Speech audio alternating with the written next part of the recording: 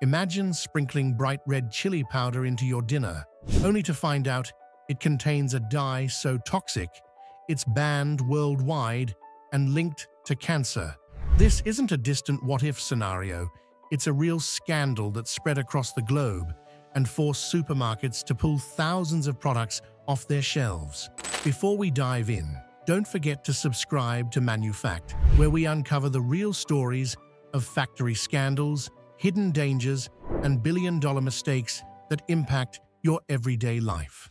The Discovery It all began in the early 2000s when inspectors in the UK tested random shipments of chili powder.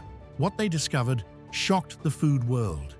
Hidden inside these samples was Sudan Red, a cheap industrial dye normally used in paints, plastics, and shoe polish. It had never been approved for food use, yet here it was, secretly added to chili powder to make it appear fresher and more vibrant. The findings set off alarm bells. One contaminated batch was bad enough, but when investigators dug deeper, they realized this wasn't an isolated incident. It was the start of a food scandal that would stretch across continents. The domino effect. What started as a small discovery soon turned into a chain reaction of recalls. First, supermarkets in the UK began pulling affected chili powders and sauces from their shelves. But the contamination didn't stop there. Regulators traced the dye across a web of global supply chains, and suddenly, hundreds of products were implicated. Ready meals, curry sauces, noodles, even branded pizzas and frozen foods had to be recalled. Children's snacks were not spared either. Within weeks, the scandal reached every corner of Europe, then Asia, and eventually parts of Africa. Fear spread faster than the contamination itself, and public trust in everyday food products collapsed almost overnight. And if you're finding this story shocking so far, make sure to hit the like button and drop a comment below. It really helps this channel bring more hidden stories like this to light. The hidden danger. So, what exactly made Sudan Red so dangerous? The dye was classified as a possible human carcinogen. Studies in lab animals linked it to cancer, particularly in the liver and kidneys. Unlike some contaminants that break down when heated, Sudan Red is stable at high cooking temperatures. That means frying, boiling, or baking food. Containing it did nothing to neutralize the risk. To make matters worse, the average consumer could never detect it. Sudan Red doesn't change the taste or smell of food, only the bright red appearance. This meant families could have been eating contaminated meals for years without ever knowing. Here's the part that made the scandal truly alarming. Sudan Red wasn't only found in chili powder.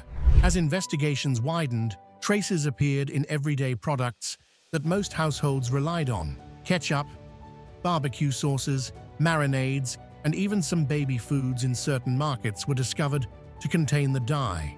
It was no longer just an issue for exotic spices or imported powders. It was something that could have been sitting in your kitchen cupboard, disguised as a trusted household brand. The contamination was closer to home than anyone imagined. The fallout. The financial and reputational fallout was immediate. Factories had to destroy entire production runs. Supermarkets suffered huge losses and faced angry customers. Regulators came under fire for failing to catch the issue earlier. In total, the recalls cost millions of dollars, but the bigger cost was consumer trust. Governments scrambled to contain the damage. The UK Food Standards Agency ordered emergency screening of imported spices. The European Union introduced new border controls and mandatory testing for food colors. Exporting countries like India and China, where much of the chili supply originated, faced strict bans that hurt their trade for years. The bigger picture. The Sudan Red Scandal was more than just a case of a banned dye. It revealed a deeper weakness in global food supply chains. All it took was one unscrupulous supplier cutting corners to spark a worldwide crisis.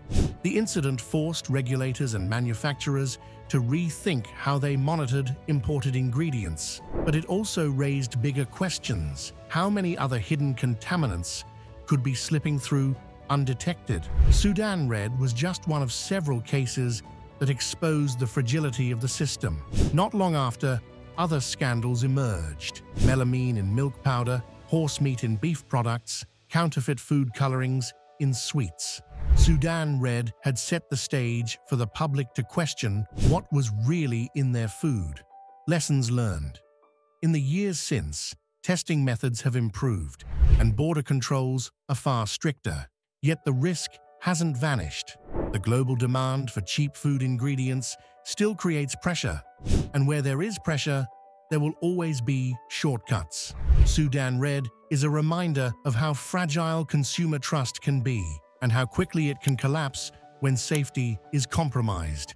The morale of the story is simple. One illegal shortcut, one small decision to cheat the system can ripple out into an international disaster. And the scary part is that experts warn similar risks may still be lurking in our food supply chains today. The Sudan red contamination was more than just a scandal about a banned dye. It was a wake-up call for governments, factories, and consumers worldwide.